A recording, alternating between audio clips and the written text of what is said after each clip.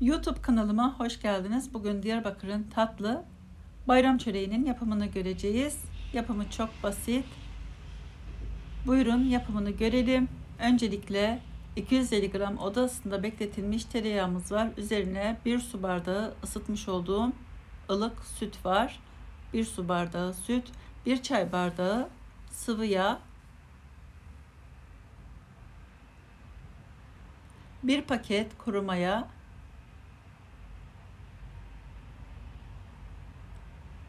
1 su bardağı toz şeker. Çok fazla tatlı olmuyor. Bunu da belirtmek isterim. Şöyle bir avuç kadar susam veya 3 yemek kaşığı düşünebilirsiniz. Bir buçuk yemek kaşığı kadar çörek otu ve bir yemek kaşığı mahlep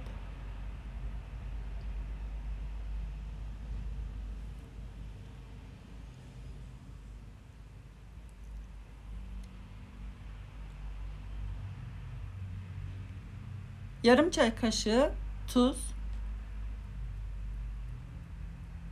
bir tatlı kaşığı tarçın, 2 yemek kaşığı öğütülmüş rezene,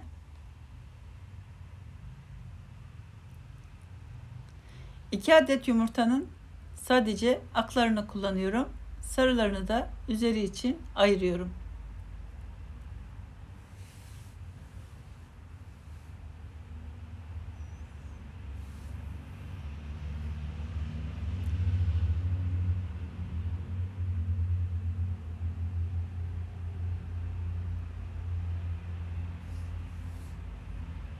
Hepsini güzelce önce karıştırıyorum.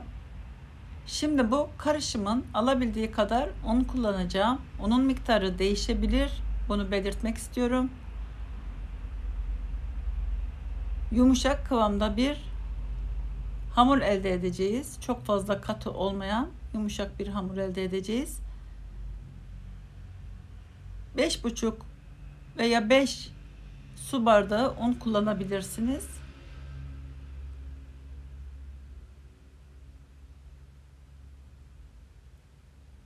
Ununu kontrollü bir şekilde azar azar ekleyelim.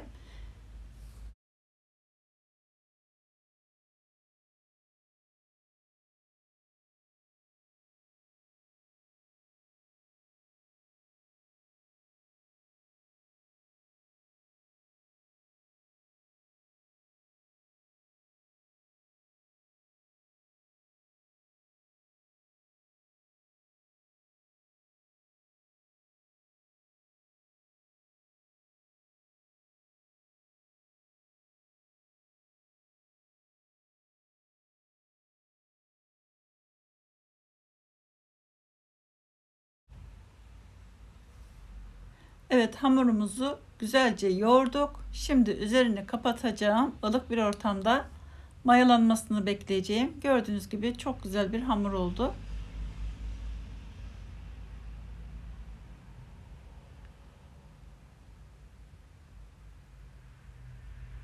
Hamuru mayalandırdım.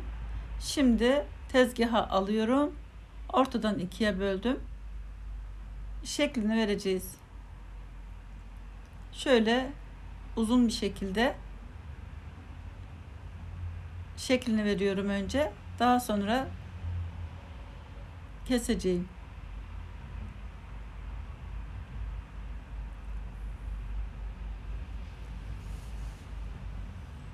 Ne çok kalın olsun ne de çok ince olsun. Yarım santim kalınlığında olması yeterli.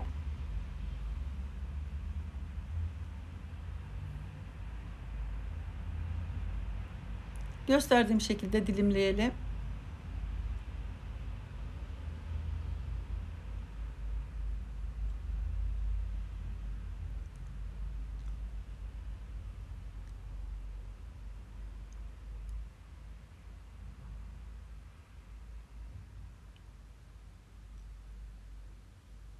Bu şekilde üzerine desenler verelim. Bu kabarmasını da önler. Hem de görüntüsü çok güzel olur. daha çok tuzlu su yapılır. Fakat tatlısını da yapanlar var. Çok istediniz tatlısını da yapar mısınız diye Instagram'dan çok yazdınız. Ben de tatlısını da yapıyorum. Bu da çok güzel ama tabii ki tuzlusu daha güzel. Çünkü o yemeklerin yanında da peynirle daha güzel oluyor. Ama bu da farklı bir tat, farklı bir lezzet. Şekerlisi de çok güzel oluyor. Denemenizi öneririm. Yaptığım ölçülerle iki tepsi çıkıyor.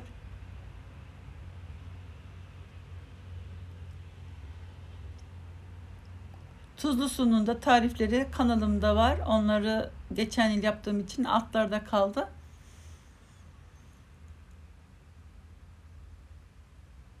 Bu bayramda tatlısından yapmak istedim. Tuzlusunu da yine yaparım da paylaşmam herhalde. Çünkü kanalımda var. En çok e, sık yaptığım tuzlusu.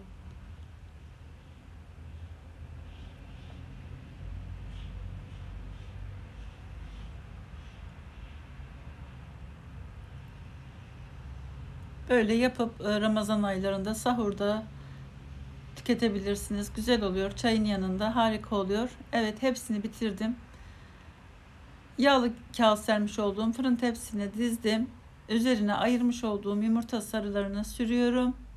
Fırınımı da bu arada çalıştırdım. 180 derece ısıda alt üst ayarda ısınmaya başladı.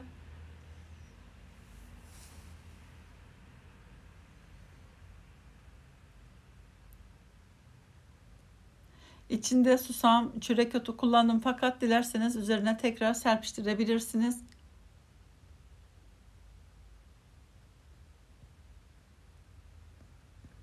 Görüntüsü harika. Gördüğünüz gibi lezzeti de yine öyle.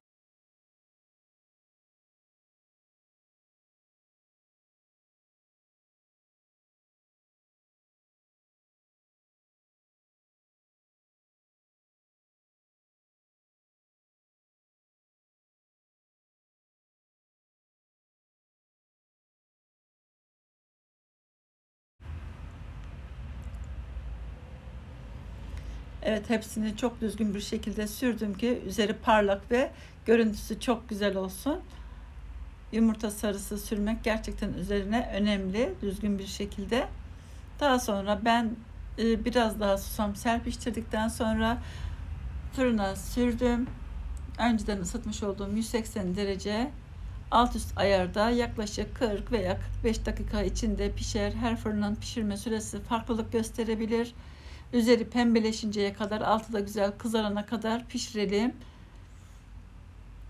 Yapıp deneyecek olanlara da kolay gelsin, afiyet olsun. Tarifimi de beğendiyseniz beğen tuşuna basıp abone olup bildirim zilini de aktif hale getirirseniz tariflerimden anında haberiniz olur. İzlediğiniz için de çok teşekkür ediyorum. Herkese sevdikleriyle beraber mutlu, sağlıklı bayramlar dilerim. Hoşçakalın.